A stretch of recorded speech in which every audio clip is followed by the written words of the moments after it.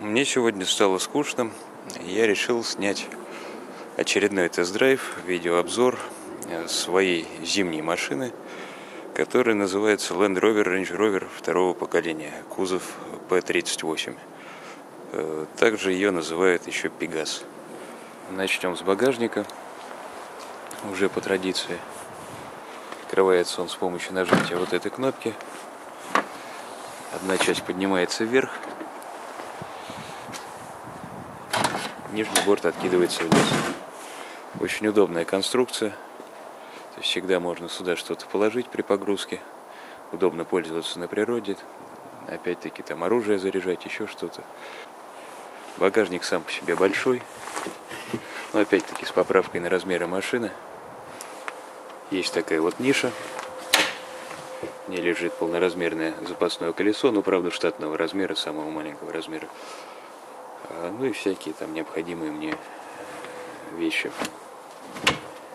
Есть CD-ченджер, он тоже в багажнике находится. Вот так вот. Кассета, ченджер. Ченджер, кстати, Клэриан. Хотя в машине стоит опциональная музыка Харман Кардона. Но это все оригинал. Вот там вот находится сабвуфер.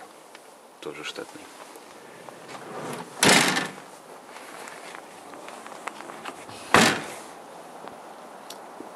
Так, салон у машины довольно просторный. Вот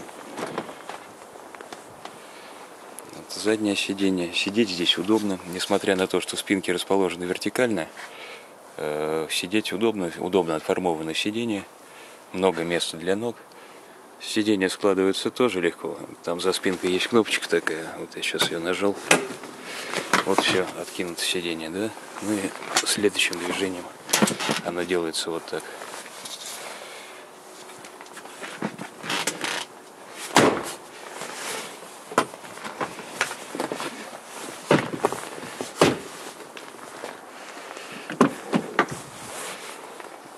Вот так вот выглядит передняя часть салона. Кстати, вот потолок я перетянул у этой машины в Алькантару. Старый потолок, машина 98 -го года выпуска. И за 18 лет старый потолок провис. Вот мне сделали новый потолок из Алькантара. Мне нравится. У этой машины кожа э, от ателье Канолли. Это очень приятная на ощупь кожа.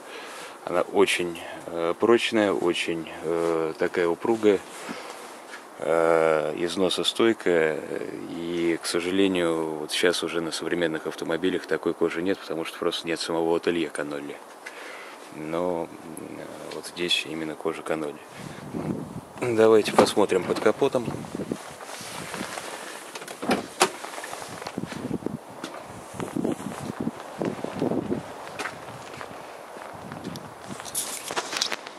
под капотом у нас так. а под капотом у нас V-образная восьмерка объемом 4,6 литра. Двигатель сделан целиком из алюминия, то есть у него алюминиевый блок, алюминиевые головы, но при этом у него один нижний распредвал, э, штанги, коромысло, и э, все это приводит клапанный механизм в действие. Вот, чтобы закрыть капот, его нельзя захлопнуть просто вот если я э, буду его тянуть вниз, его нужно поднять до упора вверх и потом только закрывать. Такая вот защита от случайного падения капота. Пройдемся немного по опциям. Да, вот, кстати, на что бы хотелось обратить внимание, у машины очень удобный педальный узел есть вот я сейчас в больших зимних ботинках, да, и я совершенно спокойно могу нажимать на обе педали.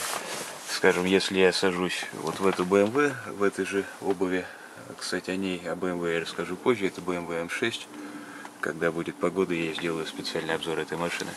Там в этой обуви ездить очень неудобно.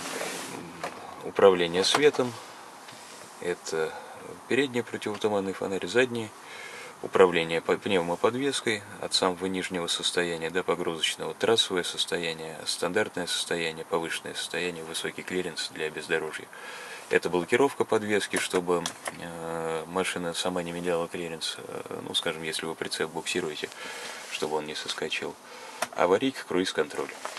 Круиз-контроль включается здесь, управляется вот этими вот клавишами. Э, магнитола, ну, тут ничего сложного, климат-контроль раздельный, э, коробка передач с двумя пазами, один для э, обычной езды, второй это бездорожье, это пониженный ряд. Ну и здесь управление э, стеклами, э, санруфом э, и управление зеркалами. Ну что, поедем прокатимся?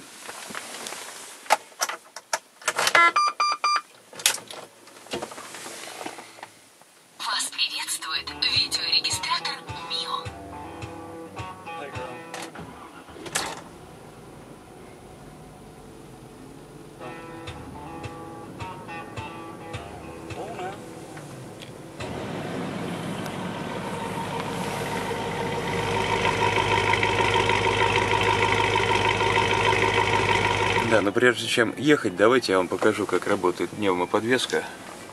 Мы ее сейчас опустим в погрузочное положение. Это самое низкое положение.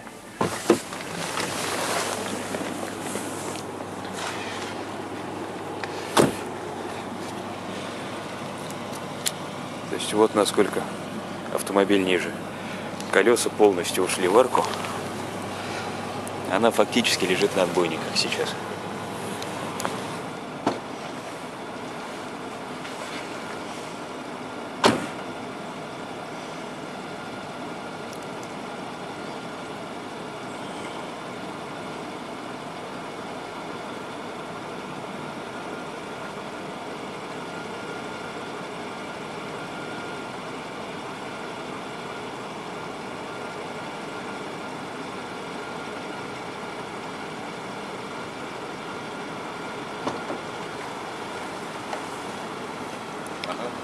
Получилось? Да.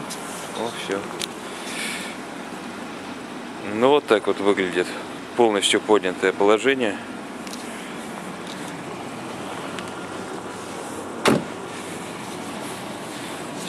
Здесь клиренс, даже черт его знает какой, сантиметров 40, наверное, есть. Очень большие углы въезда и съезда.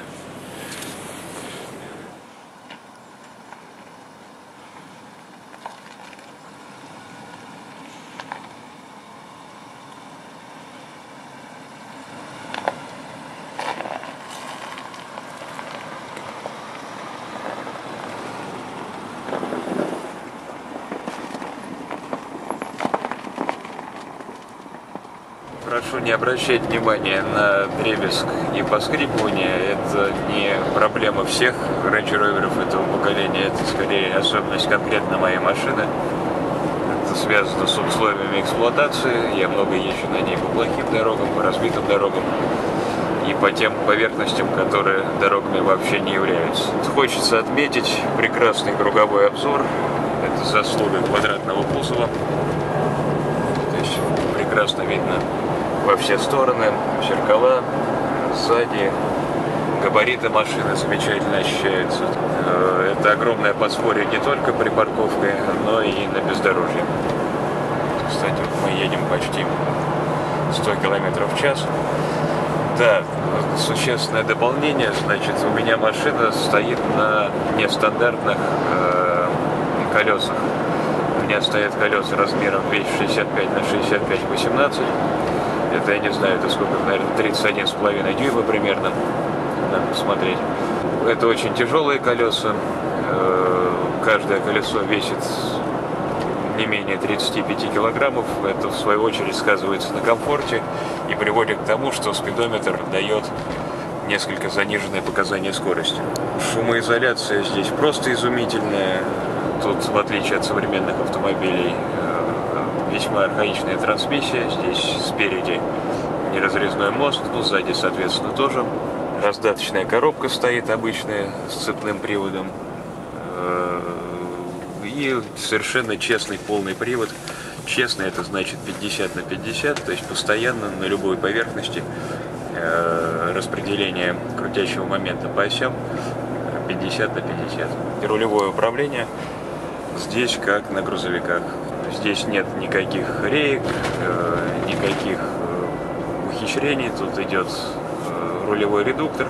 Из него выходит, из редуктора выходит одна единственная тяга. Она тянется на правое колесо, а от правого колеса рулевая тяга тянется на левое колесо. То есть такая вот диагональ. Вот заметьте насчет подвески. Я совершенно не пытаюсь обруливать ямы. Тут они довольно глубокие местами попадаются. То есть мне они совершенно не доставляют дискомфорта. Подвеска здесь, как уже было очевидно, пневматическая. Но пневматическая не как на современных автомобилях, где стоят пневмостойки, а как на автобусах и грузовиках. То есть э, вместо упругого элемента здесь обычные резиновые мешки, в которые накачан воздух.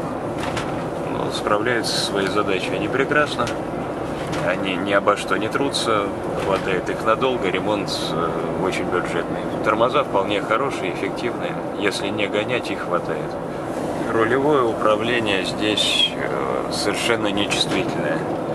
То есть очень сложно понять э, по усилию на рулевом колесе, в каком положении находятся э, колеса. Кроме того, конструктивно тут довольно большой люфт, я не знаю, видно или нет. Вот я сейчас шатаю рулем, а машина едет прямо. Да, то есть это вот э, при этом это не то, что люфт э, что-то неисправно, здесь все в отличном состоянии, я слежу за автомобилем. Это вот такая конструктивная особенность. Так, ну вот здесь вот мы сейчас развернемся, поедем в обратную сторону.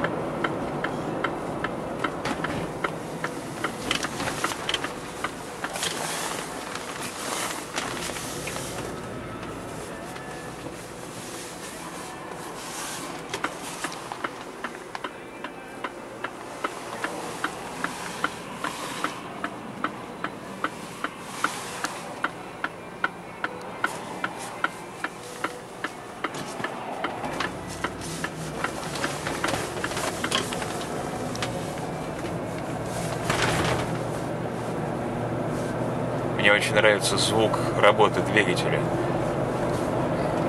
Когда его пришпориваешь, он рычит, а когда едешь спокойно, он как на лодке такой издает звук. Вот, кстати, одна тоже из неприятных вещей э, этого поколения Range Rover, у него куча электроники совершенно, огромное количество различных датчиков. И вот сейчас вы видели, это э, не неисправность, это глюк датчика э, тормозной жидкости, тормозной жидкости там навалом, но иногда он начинает вот издавать э, вот этот противный звук и э, сообщать о том, что необходимо долить. Хотя такой необходимости нет. Но я думаю, это надо просто заменить будет датчик. Так, в целом, конструктивно автомобиль очень надежен, то есть это рама, э, мощная рама, на ней жесткий кузов, э, классическая компоновка для внедорожников, то есть это весьма и весьма надежный автомобиль. Но вот давайте немножко съедем с асфальта, потому что все-таки у нас внедорожник. Я не буду углубляться в какие-то глубокие там говна, потому что вы, в принципе, все говна найдете. Горка у нас какая, может быть, туда попробуем заехать. Как, как эти машины ездят по говнам, вы легко найдете э, в интернете, да, то есть там такие будут ролики, э, что я сейчас по-быстрому вам такое не сниму. Вот мы сейчас совершенно уверенно, не на пониженной, поднимаемся скользкую горку. Вот, значит, 20 км в час скорость.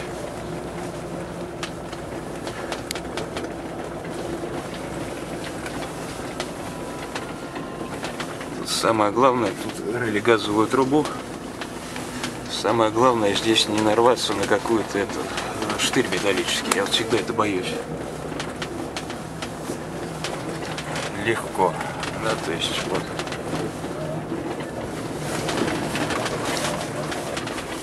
Оба-на. Ребята катаются. Красавцы. Ну, Было побольше снега, я бы сейчас тут на снегоходе катался, но, увы, снега нет. Давайте я продемонстрирую, как работает понижающий ряд. Он нам сейчас не нужен, но тем не менее, просто чтобы видеть. Значит, это нейтраль. Скидываем рычаг вправо. Вот у нас пониженный ряд, да, сейчас включился. Вот драйв. Вот машина сразу дернулась. Очень большой крутящий момент. Из внедорожного арсенала, значит, помимо понижающей передачи, ну и тут вот видно, э, есть помощник спуска с горы, подъем в гору. За нее стоит блокировка э, дифференциала э, межосевого, э, блокируется муфта в раздатке. Э, И у нее есть имитация межколесных блокировок с помощью электроники, вот с помощью сложной тор- тормозной системы, которая здесь есть. И в отличие от э, большинства автомобилей, ну, я имею в виду сейчас, конечно, современные кроссоверы, здесь это все эффективно работает.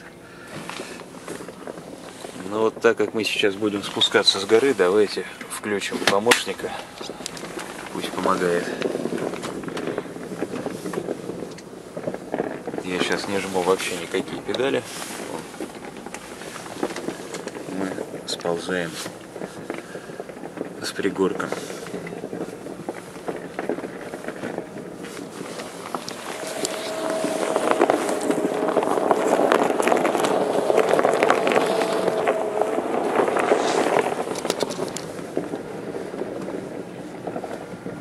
Ну, а, кстати, мне нравится. Я никогда этим не пользовался. Вот. Машина сама тормозит, вообще ничего не жмет. Вот. Ладно. Включаем обычный режим.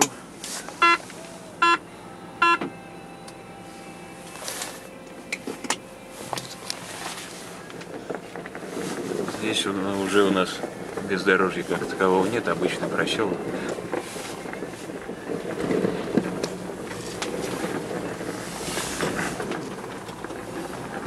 Вот сейчас немножко сработал traction control.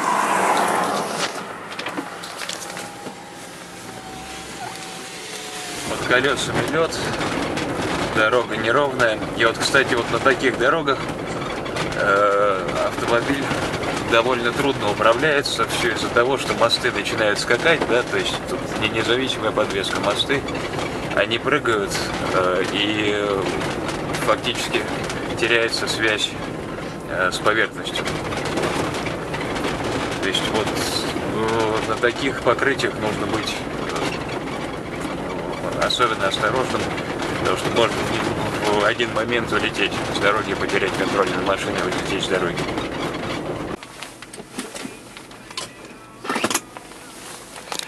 Ну вот еще один момент, про который часто люди спрашивают и интересуются, это расход топлива. Сейчас я вам его покажу. Значит, тут есть бортовой компьютер. Вот это средний расход топлива 19,2 литра на 100 километров. Э, Вот, средняя скорость 44 километра в час за 2000 километров. Это у нас статистика. Немножко хочу сказать о климат-контроле. Когда он исправен, а бывает так, что он ломается, э, он работает великолепно. То есть в лютые морозы в автомобиле очень тепло, он очень быстро прогревается. Э, Есть, естественно, все обогревы. Обогревы э, кресел, обогрев лобового стекла, обогрев заднего стекла, все подогревается.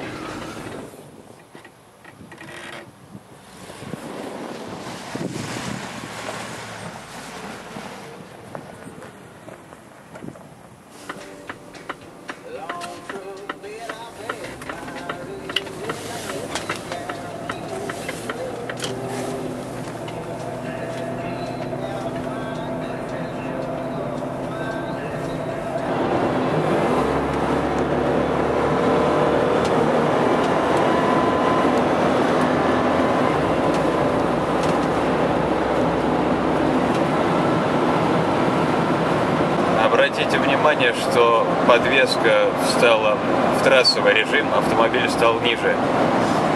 И вот на таких скоростях это изменение клиренса, оно дает существенную разницу. Э, Автомобиль э, гораздо лучше слушается руля, лучше стоит на дороге, его меньше болтает. Я сейчас руль не держу вообще, вот моя вторая рука, вот скорость, да. И сейчас выйдем на хайвей, немножко динамику машины оценим.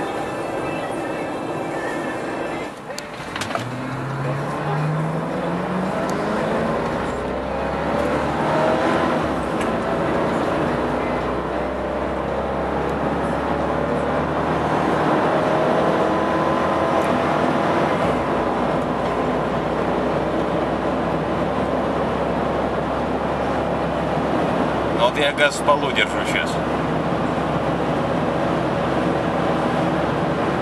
Дальше некуда. Ну,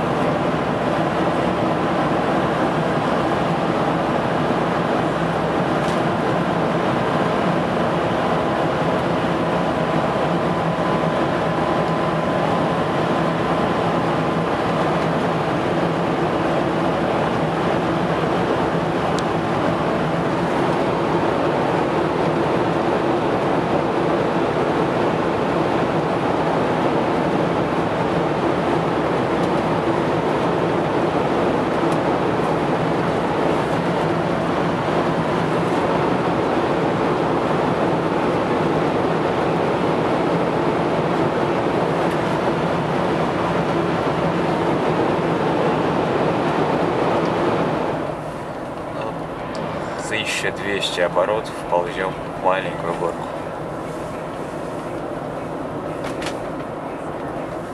Так, ну я проголодался, поэтому едем хавать вкусную здоровую пищу. Макдональдс.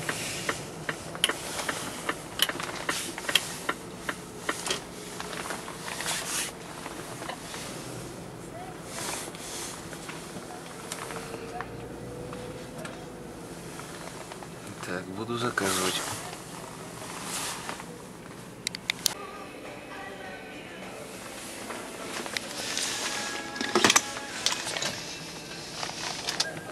Я думаю, все. На этом наш тест-драйв закончен. Спасибо, что смотрели. Ну и до следующей встречи. Пока.